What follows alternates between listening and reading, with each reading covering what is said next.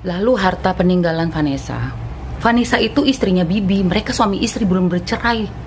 Belum. Apa pun yang mereka hasilkan berdua, itu bukan cuma karena Vanessa saja, karena Vanessa memang public figure seperti Mamski juga. Tapi suami-suami kita ini membantu banting tulang. Bener-bener. Saya tahu banget Bibi itu yang DM. Mamski, tolong alamat dong Mamski. Ini ada baju sama Papski ya. Bibi Bibi DM Pak Sandiaga Uno. Pak cobain Pak makanan dia waktu itu. Vanessa juga kirim makanan. Itu berdua. Bukan cuma Vanessa aja loh. Jadi apa pun masalah keuangan mereka mau siapa yang punya rekening siapa yang Mamski juga berdua suami kita punya rekening bersama. Dan suami Mamski yang lebih handle karena apa? Karena dia memang orang bisnis kayak Bibi. Kalau Mamski sama Vanessa itu sama kita entertainer. Tahunya kerja udah duit bisa. Kalau nggak kepegang ya bisa. Nggak tahu ke mana-mana kalau nggak diolah lagi.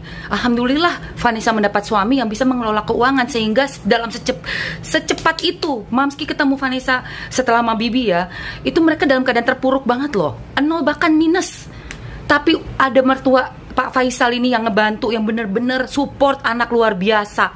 Top Pak Faisal. Makanya Mamski tuh gemes banget gitu. Terus tiba-tiba ini yang sebelah mau nanyain warisan hartanya mereka bersama. Ibarat kata Mamski sama uh, Mas Bagus kita berdua udah banting tulang setengah mati terus tahu-tahu orang yang nggak pernah ada kontribusinya nongol terus nanyain barang-barang yang Mamski punya gitu. Wow. No way, man. Yang bener aja lu. Ya.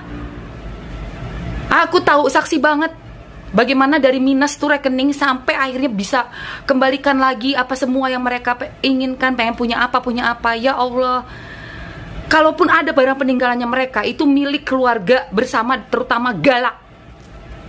Keluarga Bibi. Terutama Gala. Itu mengenai warisan itu mengenai peninggalannya uh, almarhumah V.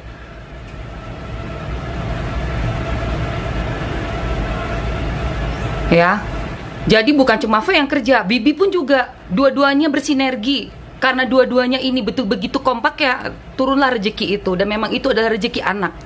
Yang semoga terjaga Mamski berdoa. Semoga apa pun yang sudah mereka hasilkan jatuhnya ke Gala semuanya demi Gala untuk Gala. Nggak ada buat yang lainnya Jadi emosi saya beneran.